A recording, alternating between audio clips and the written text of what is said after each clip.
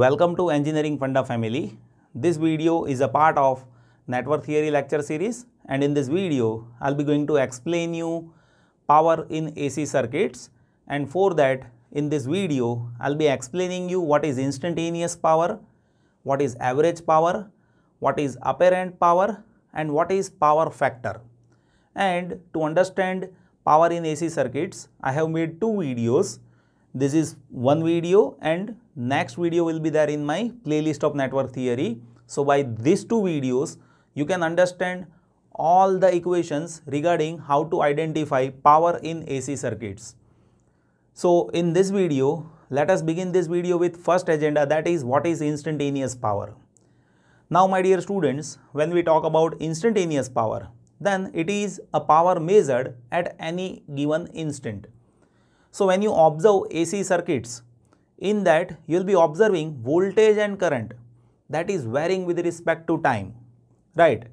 So as voltage and current is varying with respect to time, instantaneous power will change with every instant.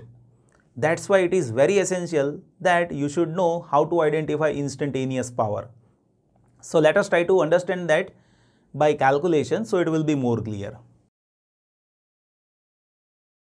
So when we talk about instantaneous power, it is power measured at any given instant of time and it is usually measured in terms of watts. So unit of instantaneous power that will be given in terms of watts. Now my dear students, I'll explain you how to calculate instantaneous power. So as if you want to calculate power at time t, then instantaneous power will be simply multiplication of voltage at time t into current at time t.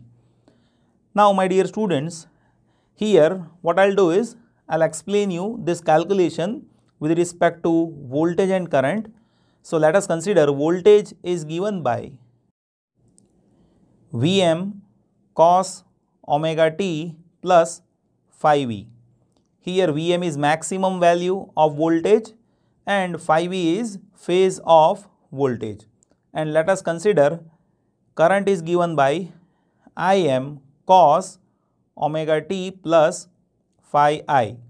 And here Im is maximum current of this I of t and phi i that is phase of current. Now my dear students what I will do is I will substitute voltage and current in this instantaneous power calculation so now we have instantaneous power that is Vm cos omega t plus phi v cos omega t plus phi i. Now my dear students I want to convert this equation in separate cosine terms. So what I will do is I will be using formula of trigonometry in which 2 cos A cos B that is cos of A minus B plus cos of a plus b. Now, if you apply this trigonometric formula in this, then you will be having instantaneous power that will be Vm Im by 2, you will have to divide this by 2 and first term that will be having cos of a minus b. So, here I need to take difference of this two phase. So, omega t that will get cancelled. So, we will be having cos of phi v minus phi i. Now in second term again I need to have Vm Im by 2 into cos of addition of both of this phase. So omega t will get added. So you will be having 2 omega t plus phase of voltage that is phi v plus phase of current that is phi i. So now we have two terms which is there in this instantaneous power. If you see carefully first term so that is independent of time. You see with this cosine we do not have time over here. So this first term that is independent of time and if you see this second term. So in this second term we have time t. So this is time dependent term. Now my dear students you should carefully observe this second term. So in that you see frequency is 2 omega right now if you observe voltage and current that is having frequency omega. So sometimes in competitive examination they may ask you what will be the frequency of instantaneous power. So you should know my dear students frequency of instantaneous power that will be twice of frequency of voltage or current. So frequency of power that will be double of voltage and current, right. Now my dear students, I will be going to explain you average power that is also referred as active power and real power. Why it is referred as active power and real power that we are deal with to see it in next video. Here I'll explain you what is average power and how to calculate average power. So when we talk about average power, my dear students, it is a power measured in one cycle. So it will be average of power in one cycle. So when you want to calculate average power, it will be average power measured in one cycle. So as if you want to calculate average power, then simply by taking average over one cycle. So how to calculate average? 1 by t integration 0 to t pt dt. So here we are having p of t and average of this p of t over one cycle will be 1 by t integration 0 to t pt dt. Now I have already explained you what is p of t and I have derived this time independent and time dependent terms so I'll, I'll directly take these terms as this has been calculated over here. So here what I'll do is I'll just substitute both of this term in this equation. So now we have substituted the value of P of t over here. Now if you see these two terms then if you observe here this term that is time independent, right. So, when you integrate this at that time you just need to consider this as constant and if you observe this term, so that is time dependent. So, I need to have integration of this term. So, now what I will do is I will be doing integration of this two terms separately. So, for this term this entire term is constant. So, just take it outside into integration 0 to t dt that will be having, right. Now, for this term Vm Im by 2 that is constant. So, 1 by t into Vm Im by 2 that I need to write here and integration from 0 to t cos of 2 omega t plus phi v plus phi i dt that is how it is there with us, right. Now, my dear students, if you observe here one integration is t and if you substitute limit from 0 to t then that will be capital T and here we have 1 by t. So this t and this t that will get cancelled. Now if you observe over here we have integration of cosine. So you should know my dear students integration of sine and cosine over time period 0 to t it will be always 0. So integration of sine and cosine term that will be always 0. So, you will be having this entire term that will be equals to 0. So, simplified average power that will be this much only. So, now we have average power that is Vm Im by 2 cos of phi v minus phi i. Now, my dear students, I want to represent this average power in terms of RMS. So, you should know RMS value of voltage and current that is Vm by root 2 and Im by root 2 for voltage and current. So here if you bisect this two in terms of root 2 into root 2 then you can say average power that will be Vrms into Irms cos phi v minus phi i. So that is how we can identify value of average power. Now my dear students, here also you need to understand two terms. This is one term that is Vrms into Irms and this is second term. And if you see this first term that is Vrms into Irms that is referred as apparent power. And if you observe this cos of phi v minus phi i. So what is phi v minus phi i? That is a phase difference in between voltage and current. So cos of phi where phi is phase difference between voltage and current that is referred as power factor. So my dear students this term is power factor. So this is very essential that you should know average power that is apparent power into power factor.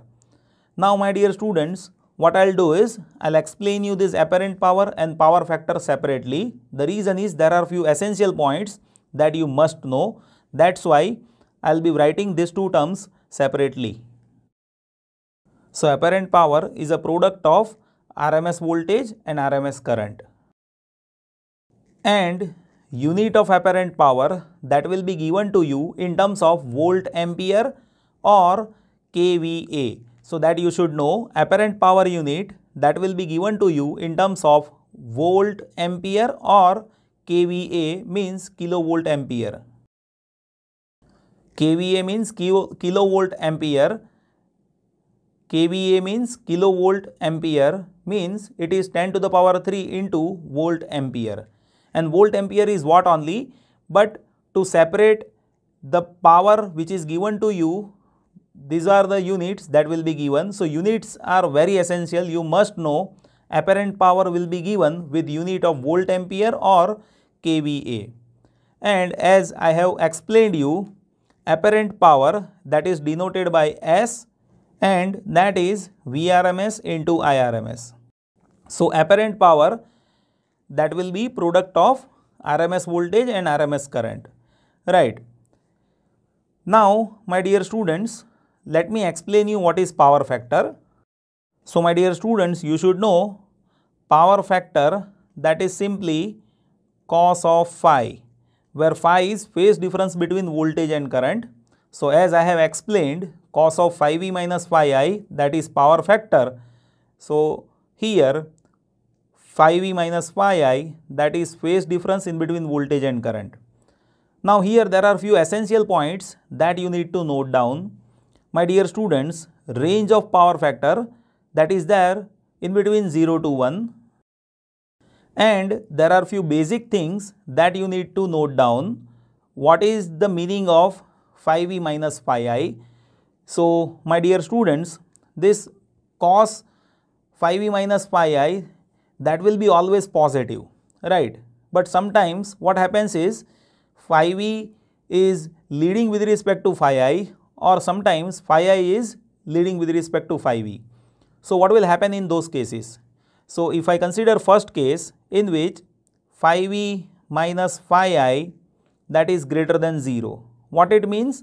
Voltage is leading with respect to current.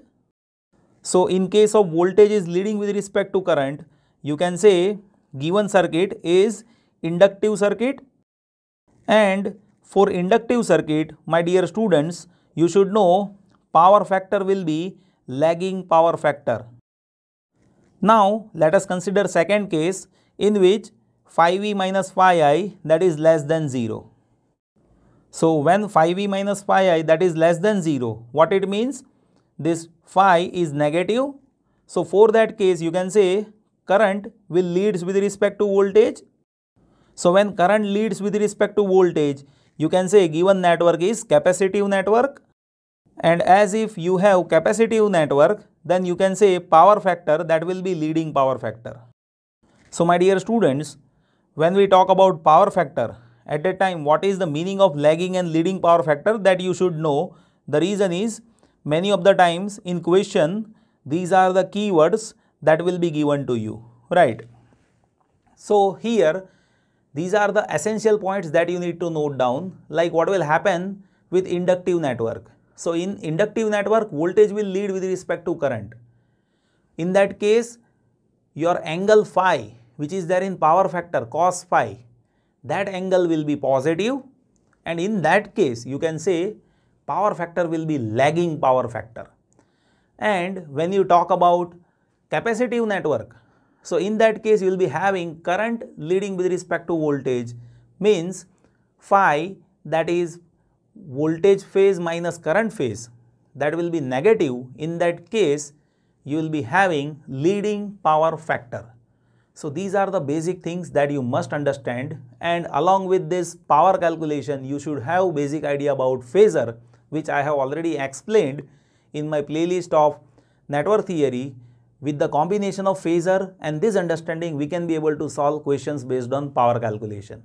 In next video, I'll be explaining you what is complex power, what is real power or active power as well as what is reactive power. So that is very essential in AC circuit analysis. So you just see that video also. I hope you have understood this. Thank you so much for watching this video.